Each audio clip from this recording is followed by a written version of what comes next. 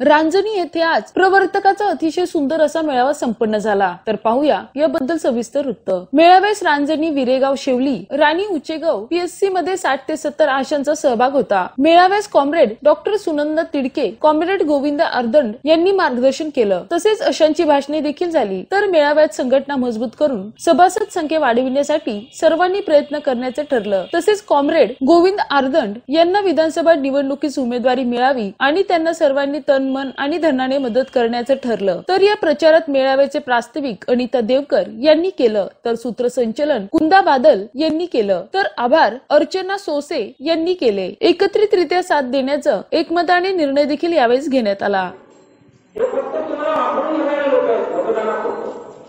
तुमचा प्रश्न मांडणारी माणसं नाही सरकार काँग्रेस राष्ट्रवादीचं असेल सरकार बीजेपी शिवसेनेचं असेल तुमचं सांगता. पंतप्रधान मन की बात सांगता. अरे मन की तुम्ही सांगतात पण जनकी विसरू तुम्ही तुमची सांगता पण लोकांचं पण ऐका आमच्या आधारावर दिल्लीला जातात मुंबईला जातात तिथं गावं फोडतात की आम्हाला वेतन द्या आम्हाला वेतन द्या. आमचा अधिकार द्या आमचं शोषण बंद करा.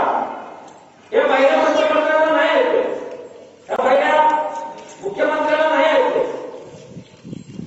आणि हा आवाज विरोधी पक्षातील लोक सुद्धा विधानसभेमध्ये लोकसभेमध्ये मांडत नाही.